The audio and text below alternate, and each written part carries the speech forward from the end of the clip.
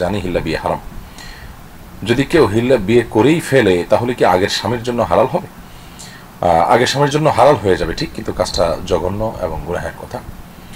আল্লাহ তালা আমাদেরকে গুনাহ থেকে বেঁচে থাকার তৌফিক দান করুন। এসটি আমার আপনি এরপর নিপা হক আপনি লিখেছেন, আমি দেশের বাইরে থাকি। এখানে আমার কোরবানি মাংসের গরিবের অংশটা আমরা দোকানে আমাদের দোকানের কর্মচারীদের দিয়ে থাকি, কিন্তু তারা কেউই মুসলিম নয়। এখানে মুসলিম তেমন নেই বললেই চলে। তাহলে অমুসলিমদের মাংস দেওয়া কি জায়েজ আছে? কোরবানির গোষ্ঠ আপনি অমুসলিমকে দিতে পারেন? দিলে গুণ হবে বাট এরকম না। তাহমিদ আলম গোলাম রব্বানি লিখেছেন, সাত ভাগে কোরবানি করা যাবে কিনা? কোরবানি একটা গরুতে সর্বোচ্চ সাতজন ব্যক্তি অংশগ্রহণ করতে পারেন। কেউ ভগ্নাংশ রাখতে পারবেন না, অর্থাৎ ভাঙতি অংশ রাখতে পারবেন না। পরিপূর্ণ অংশ নেবেন, কেউ এক ভাগ কিংবা কেউ দুই ভাগ, এভাবে নিয়ে সাত ভাগ পর্যন্ত একটা গরুতে, অর্থাৎ সাতজনের তরফ থেকে একটা গরুতে কোরবানি দেওয়া যেতে পারে। আর এই বিশ্বের প্রায় সকল ওলামাইকরামের মত বিচ্ছিন্ন এক দুটি মত একজন, এক দুজন আলেমরা ভিন্ন মত পোষণ করেছেন, যেটা গ্রহণযোগ্য নয়। মোহাম্মদ সোহেব আহমেদ, আপনি লিখেছেন, বিবাহের জন্য ইস্তেখারা করার বিধান কি? কীভাবে করতে হবে? বিস্তারিত জানাবেন।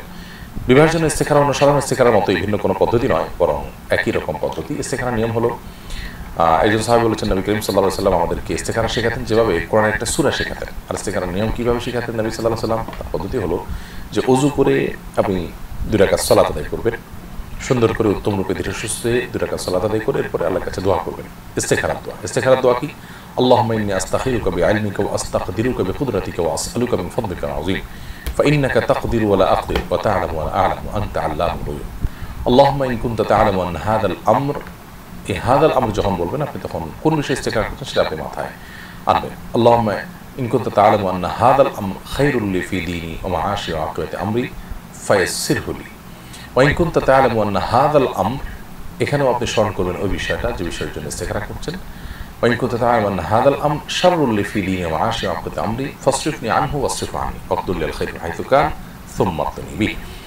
এই দোয়াটা আপনি দেখে দেখেও পড়তে পারেন এবং এটার অর্থ বুঝে পড়বেন এর দোয়ার মধ্যে বলা আছে মূলত আল্লাহ আমি আপনার কাছে কল্যাণ কামনা করি আমি যে কাজটি করতে চাই যদি কল্যাণ করা আপনি সহজ করে দিন আর যে অকল্যাণ করা আপনি এটাকে আমার থেকে দূরে সরাই দিন এবং আমাকে সেটা থেকে দূরে সরাই দিন এই দোয়া তাহারাত তানিয়াতে লিখেছেন, নামাজে সেজদা দেওয়ার সময় ছোট বাচ্চা যায় নামাজে বসে থাকে।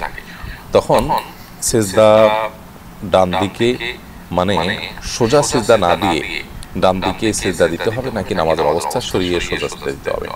বাচ্চাদের একেবারে বরাবর সামনে থাকে তো, আপনি একটু সরে গিয়ে ডানে কিংবা বামে সরে গিয়ে সিদ্ধা করতে পারেন, কোনো অসুবিধা নেই। বা হালকা বাঁকা হয়ে সিদ্ধা করলে অসুবিধা নেই, নামাজ হয়ে যাবে। এরপরে ফয়াজ হোসেন আপনি লিখেছেন হারাম উপার্জনকারীদের সাথে মিলে কোরবানি করলে কি কোরবানি শুদ্ধ হবে? কোরবানি অবশ্যই যদি আপনি যৌথভাবে কোরবানি করেন তো অবশ্যই হালাল উপার্জনকারীর সাথে কোরবানি করা উচিত। আপনি কোনো হারাম উপার্জনকারীর সাথে কোরবানি করতে যাবেন না। এতে আপনার কোরবানি বিশুদ্ধ হবে না। যদিও এক্ষেত্রে অনেক একটা ভিন্নমত প্রশ্ন করেছেন যে আপনার কোরবানি আপনার টাকা এটা ঠিক থাকলে আপনারটা আপনার কবুল হবে। তার আপনার সাথে শরীর কেউ হলে তারটা বল ত্রুটিপূর্ণ থাকলে তারটা কবুল হবে না। কারণ কারোর পাপের বোঝা অন্য কেউকে বহন করতে হয় না। আবার যে সমস্ত ওলামাইকরাম বলেন যে না করবার বিশুদ্ধ হবে না বিশেষ করে ফোকা হানাফ এই সমস্ত ক্ষেত্রে হারাম উপার্জনকারী কিংবা কেউ গোষ্ঠ খাওয়ার উদ্দেশ্যে কোরবানি করছেন তার সাথে কোরবানি দিলে কোরবানি হবে না বলে মত দিয়ে থাকেন। তো এই মত এর যৌক্তিকতা হলো যে এখানে পশু মূলত জবে হচ্ছে একটি। অতএব এই একটির মধ্যে যখন ভেজাল হবে আল্লাহ ভেজাল কোনো কিছু গ্রহণ করে না। বিধায় আমাদের উচিত হবে হালাল উপার্জনকারীর সাথে কোরবানি দেওয়া এবং মোত্তাকি পরিষ্কার মানুষ তুলনামূলকভাবে খুঁজে বের করে কোরবানি দেওয়া সবচেয়ে ভালো হলো একাকি কোরবানি দেওয়া, সেটা প্রয়োজনে একটা ছোট ছাগল হোক না কেন। এরপরে রিম্পা দাস, আপনি উত্তরবঙ্গ, ইন্ডিয়া থেকে প্রথমে সত্যতা উপলব্ধি করেছি এবং ইসলামের নিয়ম, নীতি অনুসারে চলতে চাই, কিন্তু পরিবার এক্ষেত্রে বাধা হয়ে দাঁড়িয়েছে। এখানে আমি পর্দা করতে পারি না, নামাজ পড়তে পারি না, ইসলামের নিয়ম, নীতিগুলো পালন করতে চাই, কিন্তু সম্ভব হচ্ছে না, আমি স্বাবলম্বী নই। এই অবস্থা আমার কি করা উচিত? বোন রিম্পা আল্লাহ রবুল আলমিন আপনাকে দিনের জন্য কবুল করুন, আপনার অন্তরকেও মুক্ত করে দিন ইসলামের বাস্তবতা এবং সঠিকতা উপলব্ধি করবার জন্য। এ সমস্ত ক্ষেত্রে আমাদেরকে চ্যালেঞ্জ নিতে হবে।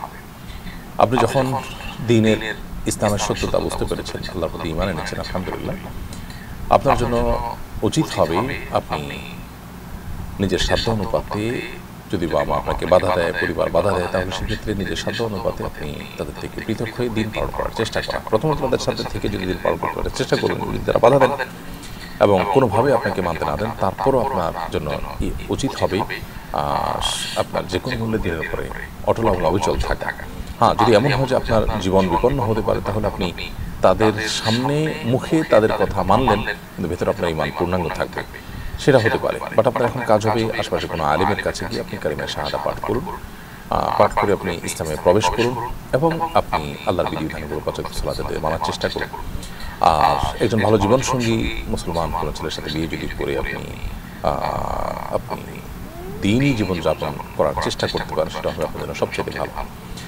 তো খোলাসা কথা হলো বাবার মধ্যে থেকে যদি দিন পালন করতে পারেন, ভালো। আর যদি আপনার সুযোগ থাকে, তাহলে আপনি প্রয়োজনে তাদের থেকে পৃথক হয়ে গিয়ে আপনি কোনো আলেম, দিনদারদের শরণাপন্ন হয়ে তাদের সহযোগিতা নিয়ে আপনি বিবাহের চিন্তা করতে পারেন এবং একটা ভালো দিনদার ছেলে পেলে তার সাথে আপনি জীবন কাটাবার চেষ্টা করতে পারেন। এক্ষেত্রে বাবা মা অবাধ্য হলে আপনার গুণ হবে না। কারণ বাবা মা আল্লাহর সঙ্গে শির করতে বাধ্য করলে তাদের সে কথা মানতে আমরা বাধ্য নই।